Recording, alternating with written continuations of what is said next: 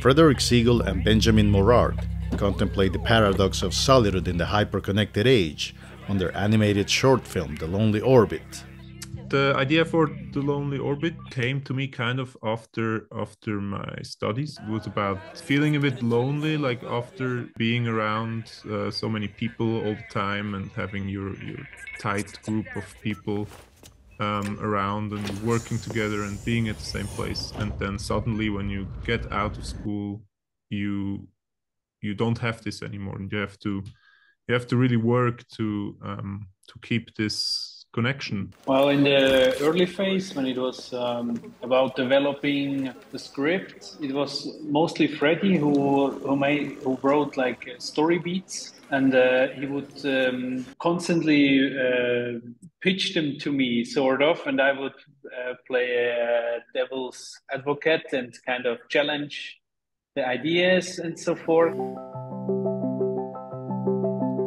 I think it even started with one with one image that uh, Freddie had in his head and sort of built the uh, story around it. Then burning up like the final image, we changed it like uh, the storyboard and everything. Of course, like it went through so much changes. But this one image, yeah, it just kept coming back and it was there from the beginning. So.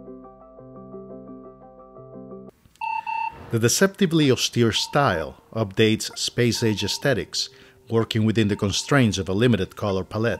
It took us a long time to decide on on the colors itself. The warm blue is is like the sign of the of the coziness and the and the nice feeling you have when you yeah when you're with your friends usually the space has like a colder color but in our film the blue the warm blue is the symbol of the space and the white color there's the white there's the white is more of the like clinical and and cold um, part on on earth like in the center uh, where like in the control center. The third color the orange is like the like the clash between the warm and the cold.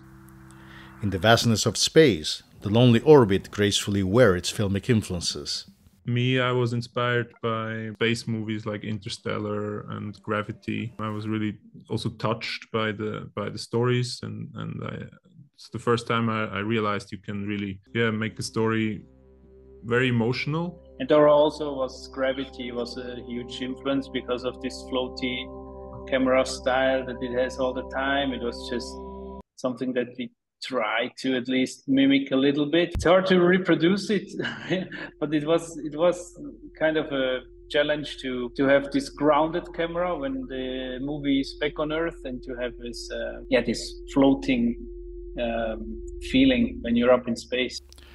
Most science fiction films reflect distrust towards technology, but The Lonely Orbit lands between hope and despair technology is something it's here we can't like we, we can't wish it away so we we have to use it. And there's parts that are bad but also if we use it the right way it's it's it's beautiful. Watch the lonely orbit now at popflix